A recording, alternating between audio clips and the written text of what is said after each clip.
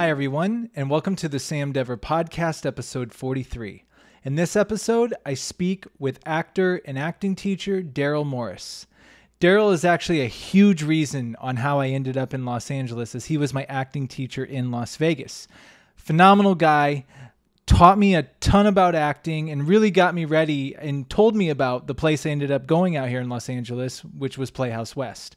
Uh, very passionate, funny, intelligent guy and it was awesome to have a great conversation with him here in las vegas. And he actually wins the award for uh, best background so far. He did it from the pool. So i thought that was really cool. So huge thanks to daryl for doing this. And the book of the episode i just finished this one not too long ago. It's called master your emotions. And i'm going to butcher the name by thabat maurice uh, really good book. Really, I, at first I didn't know quite what to think of it, but he does a really good job just breaking down the basic human emotions and uh, really giving you a step by step process to work through them and uh, get to the core of yourself. So I, I, really recommend this, and there's actually a workbook in the back of it as well. It's uh, Master Your Emotions by again butchering the name here, Taibat Maurice. With that being said. Here's my conversation with Daryl. Daryl Morris, also known as the Colonel. Welcome to the Sam Dever podcast. Hi, Sam. How are you? I got some message here. Oh, well, I'm doing great, and I just got. Oh, hold on one second. Hold on. Like, okay, I got it.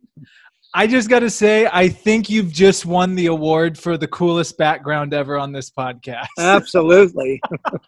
you told me, hey, can I do this from the pool? I'm like, absolutely. I mean, why not, right? It's Vegas, baby, Vegas. How's that Vegas summer heat treating you? It's, I mean, so far not too bad. We haven't had any 120s yet, so that's good, you know. But I'm always looking for uh, at least a week or uh, week here, a week there kind of escape.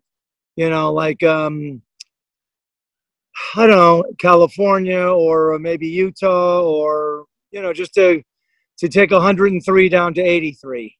You know, I, so. and I swear, Vegas is it still building like crazy out there? I mean, yeah, and the funny thing is, Sam, Lake Mead is drying up. It's drying up. They, I don't know if you've seen any of the pictures. well, first yeah. of all, they found two bodies in barrels. Oh, Did you know that? I think someone had posted. Yeah, yeah, so they really did. Huh? Yeah, yeah. They found two bodies in barrels. So I'm, I'm sure they're going to find more too. But anyway, they had a picture last week of a boat sticking up. There was about this much water, and the rest was just the boat exposed. Now they took another picture a week later. The boat is completely exposed now. I mean, it's just it's it's amazing how quick it's drying up. So what's the plan? Is there like a backup plan or? well, that's a great question. I talked to somebody, and I don't know if this is true or not, but they said there's like 13 other dams that feed us. Because I got to be honest with you, if that's the case, I mean, I, I guess that's okay. The problem is they keep building here homes and hotels and everything else. Hold on, there might be a bee. I don't like bees. anyway, homes and hotels, and I'm like, where are you going to get the water? Yeah, you know. Yeah, I mean that's a that's a big concern here. Yeah. So, every every time I pull into town, I swear there's a new apartment complex. There's a new something. I'm just like I I don't know where everyone. I guess they're all coming from California. A lot of them. Yeah, yeah. I mean, I mean, so what? What? What's um? What's your average gas price there? Like six and a quarter? Yeah, just about uh, six dollars. About six dollars thirty cents on average. Cost me ninety four dollars to fill up the other day. My brother just said that Vegas hit six dollars though. No, no. Well, there's a few idiot stations here on their on their like high octane, they're over six dollars. Yeah. But you can get it now for five oh nine at Sam's Club. Five oh nine? Yeah. Yeah. That's cheaper than Costco. Well, no, Costco's the same. They always match each other. Oh, they always match. I didn't know. Wow. Yeah, five oh nine. But hey, Sam, five oh nine is still no bargain. you know, you know what I do? I fill. I now fill up at a half tank.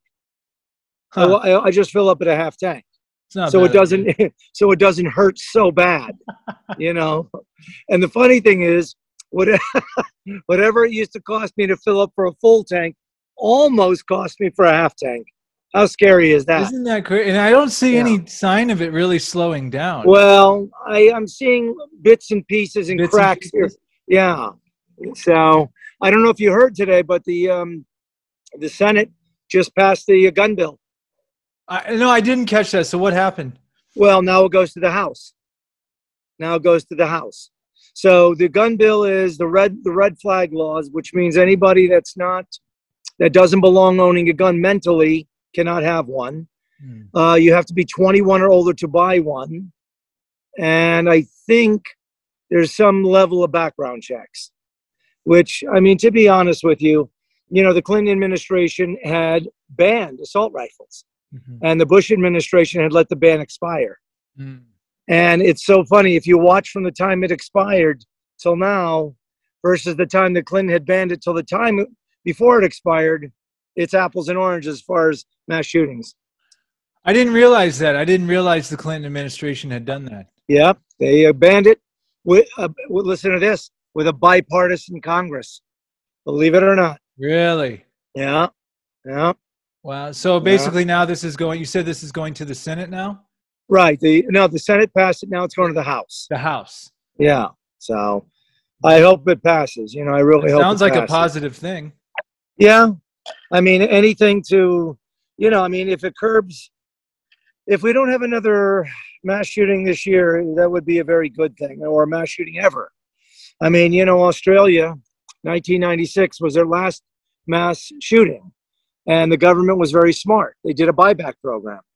They bought all the guns back, and they haven't had a mass shooting since in 26 years. Wow. And then New Zealand had one about a year and a half, two years ago, under the female prime minister. She banned them, and they haven't had one since.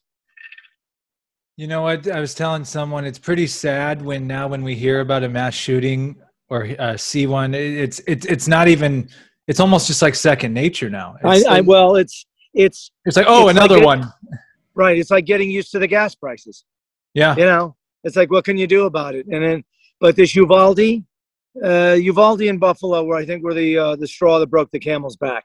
Yeah. I mean, I mean, you already had the 24 kids and two teachers in um, what you call it? Um, what was it 10, 12 years ago? Where was that again? It that- was wait, in, you uh, talking about Columbine? no, no, no, no. The, the little kids and the two teachers. Oh, Sandy Hook. yes, sir. And then this basically was like a duplicate. Yeah. You know, I mean, less less kids were killed, but and how about the police officers standing in the hallway for 77 minutes when the doors were unlocked? The doors to the classroom when the kid was shooting um, shooting the kids were unlocked, and they stood there. Yeah, that's that's the part I'm. uh, I think a lot of people are just really unclear on what, what was going on with that. I, There's nothing. To, it's it's clear as a bell. They were scared to death, and they didn't do anything. And I can promise you, there's going to be about 2,000 lawsuits. Okay. Yeah. I mean, you're talking about four and five year old kids. Sam, it was so bad that they there was so much damage to the children. They had to use the parents' DNA to match them. Oh, Yeah. That's how much damage there was to the bodies. They had to use the parents' DNA to match the kid to the parent. And then the one little girl was really smart. She took a bunch of the blood and wiped it all over her body and played possum. So the guy would think she was dead.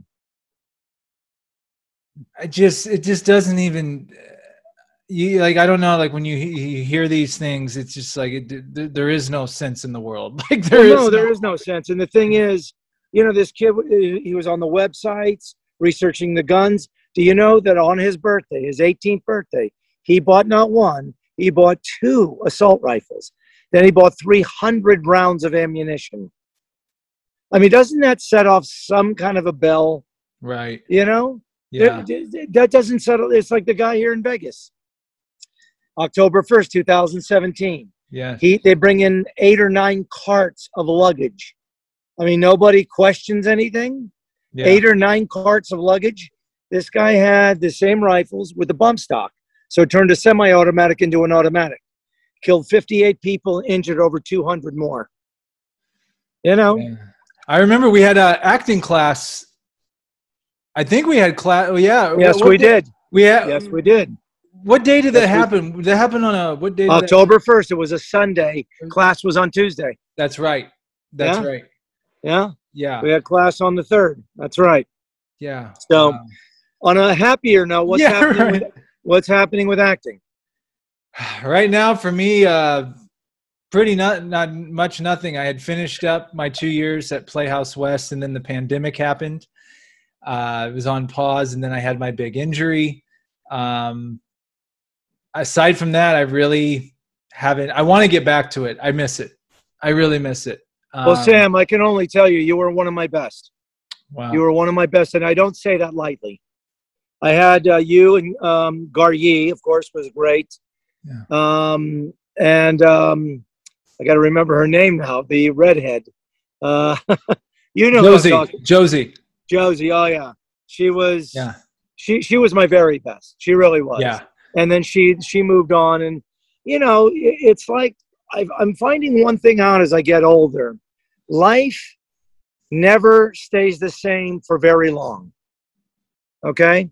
I had classes from 2017 to 2020 there. And then i taught classes at the international academy of film and television from 14 to 16 so i had a year off before i started at the indie film factory I do follow Playhouse West LA and I follow Tony Savant at Playhouse West Philadelphia. And you know, Sam, my my my teaching and my philosophy about acting hasn't changed. It's all about the truth. Mhm. You know, it's so funny. It's it's so simple, but it's so people um, they have a very tough time peeling away the onion to show us the truth. Honestly, and they when they do, you get your best work, as I've taught you. Well, uh, to fill the people in, I well, first of all, I have to give you so much credit for not only opening my world to acting, but really one of the main reasons I moved to LA was for Playhouse West, which I never would have heard about if it wasn't for you. In my first acting class with you, you just we kept talking about Playhouse West, Playhouse West. I'm like, what is he talking about? And then you know, so could you talk? Could you take us maybe a little about your uh, acting, or actually, can we let's take it back a little bit further? You grew up in Las Vegas, didn't you? Right. So let me let me give you a little background. Yeah. So when I was a kid, and it's a kind of a very funny story. Um, I was about 11 years old. Now I played football out in the street with my friends, and I played basketball in the driveway with my friends. But there was I my inspiration, believe it or not, was the Sonny and Cher show. Huh. I used to lay on my mom's bed on Sunday night and I watched Sonny and Cher. And I said, Mom, I want to do that. I got to do that. So there was an acting school here in town. Uh, John and the last name's Gregory. I don't remember the wife's name, but John Gregory. Anyway, it was acting, singing, and dancing. Okay. So we'd put on shows, but it was more musical than it was anything else. But it really got me like started. And now, mind you, when I was 11, you know, my friends are all into sports, and of course I was too. But I had to get my own tap and ballet shoes because we were doing tap and ballet. So I did that, and of course I got all kinds of crap from my family, my friends, you know. So I only did that for probably about a year, and then from there, I the next uh, foray into acting was high school, and there was a, a play called "A Man in a, the Man in a Dog Suit." Hmm. It was a play in my high school.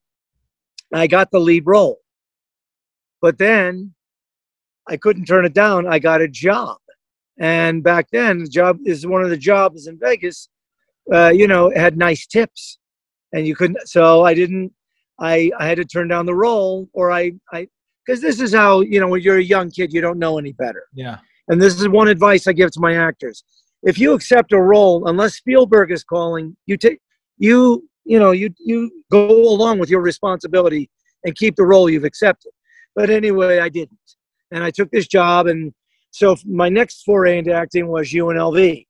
I took theater classes there, and I enjoyed them a lot. And so I didn't do anything at all from like probably 79 until 2000 and God, let me make sure I get this right. Mm. Hang on. I got to make sure I get this right. Let me think for a minute. I got to get, I really want to get this right. Um, two, I want to say 2008. Or no, no, excuse me. I'm sorry. 1998. I'm reading an article in the Las Vegas Review Journal about a guy named Gerald Gordon. And he's teaching these acting classes in Las Vegas for $650 a month. Now, this is back in 98 Wow. and I said, I'm not doing that. But I started looking around and I found this guy named Joseph who was in uh, the trial at Nuremberg. He was an acting teacher. He was in the movie The Trial at Nuremberg. Anyhow, there's a junior high school here called Orr Junior High. So in 1998, we meet in the a side room of the gym. And you know, it's not really acting classes. He gives you a script and okay, now do it. You know, and you're you're reading with other students.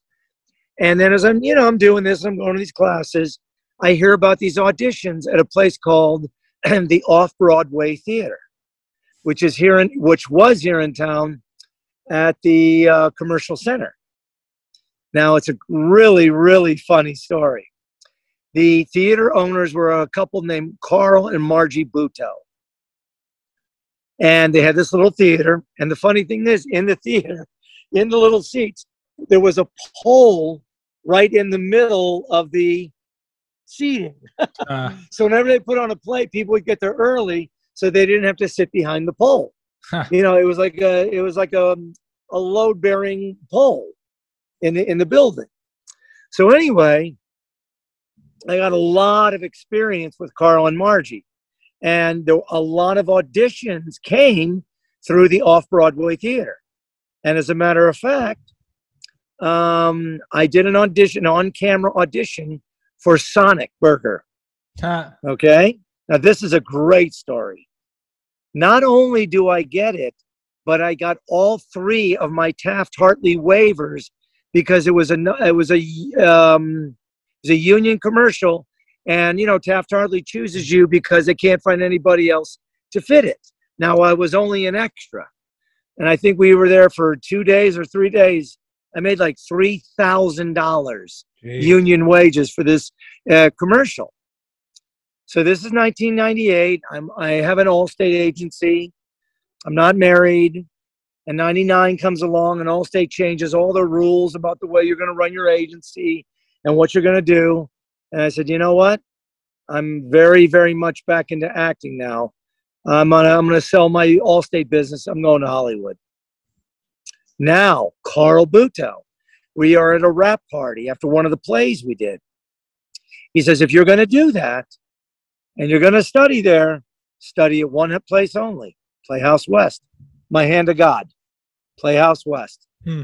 So, August 12th, 2000, I pack up uh, like the Clampetts and I move uh, to Beverly Hills. No, I moved to Hollywood. And where I moved to was, a, I had, it was unbelievable. I had a dear, dear friend who's a producer, still is. He produces for Amazon now. And it was an old, uh, an much older apartment building on um, Beechwood. Mm. Okay, which this, I don't, if you know, Beechwood goes all the way to the sign. Yeah. Okay.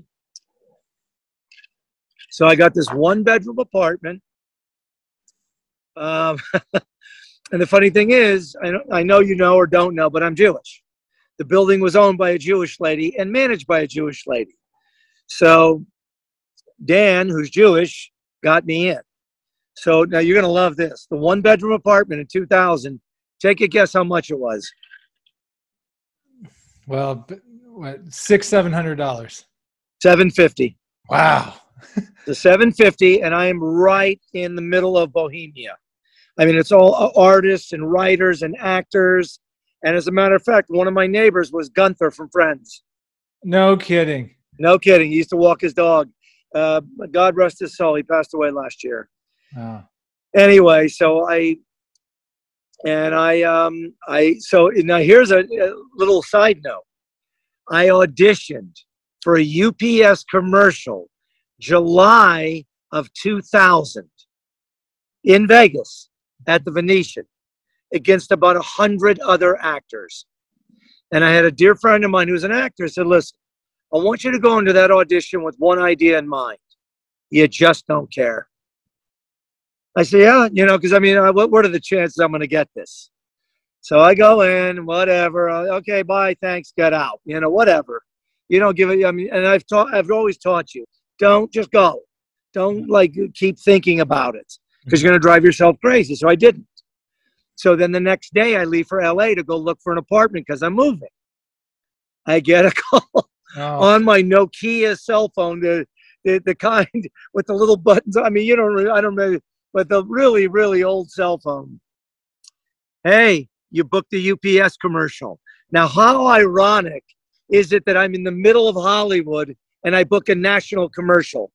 Jeez. Okay. So I got to run back to Vegas. We film the commercial.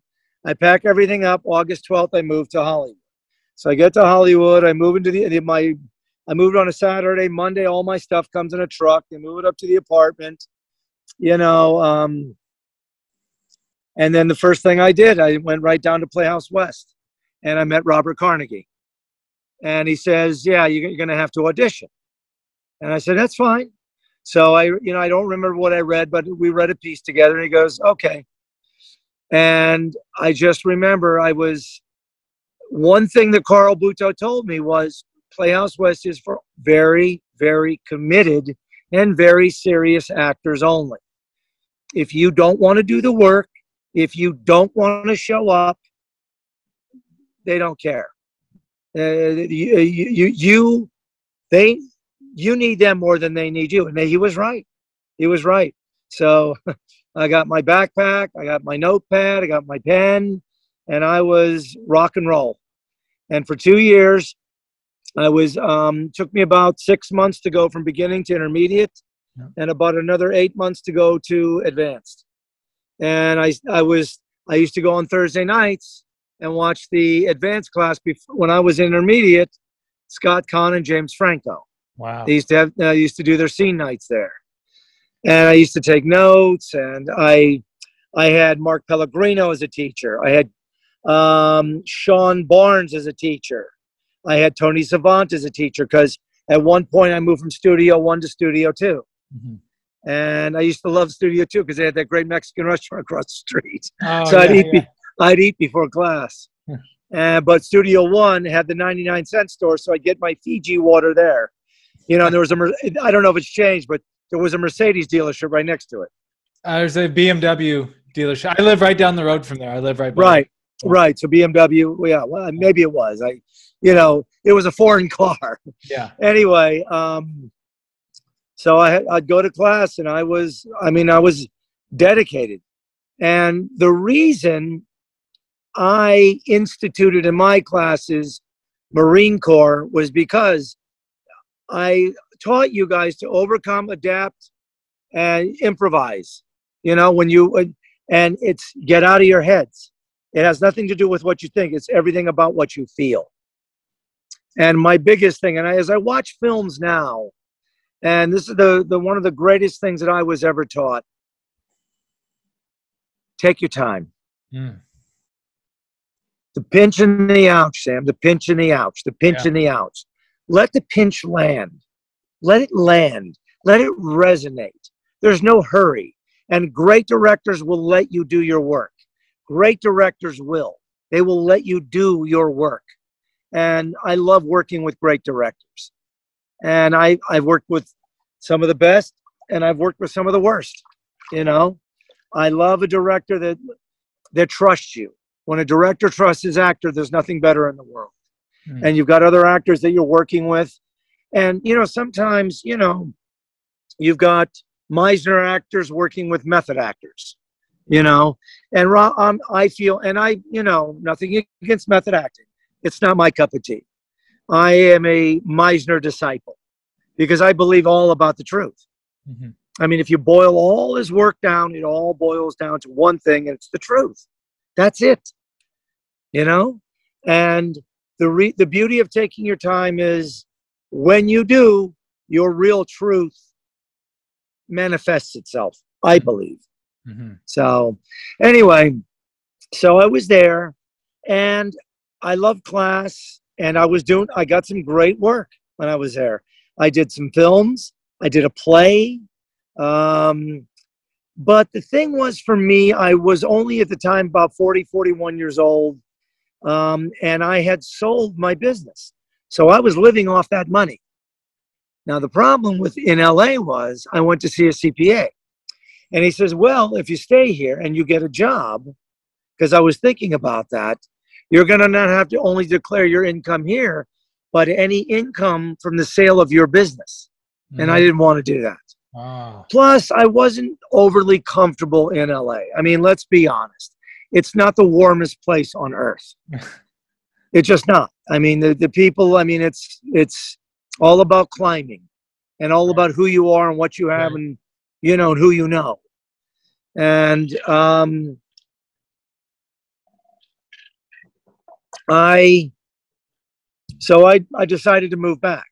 Now the funny thing is ever since I've moved back, I have done probably 25 projects for Sony and Warner Brothers on voiceover. I've done about seven or eight Adam Sandler films, or David Spade, Kevin James. I was in Paul Blart Mall Cop 2. I had the opening scene with um, Kevin James. And a friend of mine made a very good point, my producer friend who used to live above me. You don't have to live in LA to act. Yeah. And he's right. I mean, I uh, I just this year I did a, um, a commercial for a, um, a web commercial. Still in all its acting, I'm happy about it. Um, I did a um, I just did a short film about six weeks ago. So, you know, I like the opportunity to act. You know, obviously, I'm not going to get rich from it here, and I'm thinking about starting acting classes again. But at the moment, um, I take opportunities as they come. So that's kind of where I am and where I was. And yeah, yeah, you know. By the way, I was very, very, very unhappy when you left. Oh, yeah, no, I. very unhappy. I, I will say you were without question the most dedicated. The most dedicated. What? You never missed a class. You were always ready to work. You were always prepared and it's it was a pure joy teaching you. Uh, well, thank you for saying that, and really, uh, you're the one that prepared me for Playhouse West because it was exactly what you said it was. It was no bullshit. Uh, like you said, like if you're not there to work 110% and fully participate, you're gone. like, so let me ask let me ask you a question. Yeah, I'm trying. What, to- was there was there anything that I taught you that was taught any differently there? Um, because remember now, I didn't get you. You know, I couldn't take you to advanced. You know, we we you were with me. I think about a year. You know, I think just about a year, weren't you? I was with you for five months, actually. Oh, was that it? Five months? But it, that five months seemed like two years. okay, but when you got there, were, was what I was teaching you congruent at Playhouse when you first started? Yeah, I mean, yeah, for the most part, I guess the difference would be they how much more in depth they go with everything. Uh, okay. The different the different levels of everything, you know, be you know beyond doors and activities, like the different. Um, not to give away all their stuff, but like, uh, you know, door and activity, and then you do emotional preparation setup, door and activity into the scene, like you know, like just different levels of that. So right, but so my class was a good launching pad then. Your your class was a perfect launching pad because I'll never forget being outside class. Uh, the very first night I was going to audit, and people outside are doing repetition with each other, and I'm like, oh, I know what this is. right. And I'm like, it's it's uh, I can't I can't thank you enough for basically sending me there because that place changed my life. It changed my life. Like right. I I went there on night 3 of living in LA and for the next 2 years and you had told me this. You just said you're going to meet a lot of people. I met so many people so fast. Like Sure. it, it was like my time in Vegas, but in a way shorter amount of time in LA because that Playhouse. I mean, you're doing film projects with people. There's plays and scene nights and Right. get-togethers, and you're rehearsing all the time. So right. you Right. really get that bond with people. Right. Yeah. But but Mhm. Sam, let me say something. Yeah. The biggest problem with the way I teach here in Vegas, and I think you would agree with this, I want the most dedicated and committed. And Yeah. the problem here in Vegas, everybody wants like to be on camera, on the lights, yeah. and I'm an actor, and and it, that's you know, and the beauty about LA and New York is because there's so much opportunity there, and that's really where things happen. Again, that's why Playhouse says you're either in or you're out yeah. because this is a very serious uh, um, uh, training ground for very serious actors, and a lot of actors have gone on to do. A, Tessa, what's her name? She's big Thompson. time. Yeah, Tessa Thompson. She's big time now. Yeah. You know, Franco, uh, Khan. I mean, and uh, there's probably 15 or 25 others that I don't. Pellegrino is. I guess he's still working. You know, so the point is, it's like if my job was to get you ready for LA, then mission accomplished. You know, mission accomplished. But um, I'm very glad to hear you say what you said about, you know, hey, repetition and and you know, Yeah. uh, my, my it's like okay, you, again. I mean, I hate. I guess the best way to describe it is I'm boot camp, and I get you ready for the Marines. So what? Going back to that, the reason I use the Marines so much is because they were so. They're, they're a crack squad. Yeah. Everything is ironed and pressed, and and there's no bullshit. Yeah. There's no like, well, I, don't feel like it, Sergeant.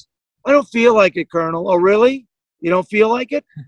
you know, and the, the great actors and the people do the great work are the people that do the work when they don't feel like doing the work. Yep. Yep. That's the difference. The ones who do the work when they don't feel like doing it, but they do it anyway. Okay? The, the, the desire burns in them and, and they want to be the best of the best. You know? I am forever grateful for you. I've told people out in LA about you. Um, I think I'm so grateful eh, to you and the Indie Film Factory for creating that environment um, and giving people those opportunities in Las Vegas. So I really, I really thank you for that. And I really, uh, it's really, I'll never forget that scene night we did before I left. Like the amount of Right. effort you put into that and getting it all set up for us. We had a packed house. It was full that was one of the coolest moments uh, ever, and that really gave me the confidence to go to Los Angeles. So I thank you. And I, uh, we got about two minutes here. I always give the guests the last word. Is there anything you want to leave us with? Anything you? Want Yeah, Sam. Um, basically, you're welcome. It was my pleasure. I wish I had a, a, a class full of Sams, honestly. Um, what? Uh, so is Gar Yee still uh, there? I think so. Yeah. And by the way, Gar and I, that I'm running out of time, but shout out to Gar. I was scene partners with her for three scenes in Mr. Carnegie's class. Wow. She took me to an entirely different level. Like it oh was yeah. incredible working Right. with her. She, And I told her. I told her. And what about Alexis? Did she ever stay? uh, she was there. She's not there now, I know, but uh, yeah, she was there. Her and I, we did a film together and won in a film competition. So that was really cool. That was really Right. cool. We had been at your class in Vegas, and then we combined at Playhouse and won a film competition. So that was That's great. Well, Sam, listen, I'll let you go. I know you don't have a lot of time. Uh, thank you for taking the time to talk. Hopefully, there was some insight here, Yes. and uh, I'll, I'll be more than happy to do this again. yeah. No, we'll have to do another one. And I, I, you picking the pool was amazing. All right, Uh, so hey, listen. if people want to find you on social media, can people find you on social media? yeah, Actors Dynamic. Um, I'm on Facebook on Actors Dynamic. Okay. Sounds Actor good, dynamic. Well, hey, stay cool out there in Las Vegas, and I'll be talking to you soon. Very good, sir. You take care and thanks for the time. Take care, my friend. Bye. Bye bye now.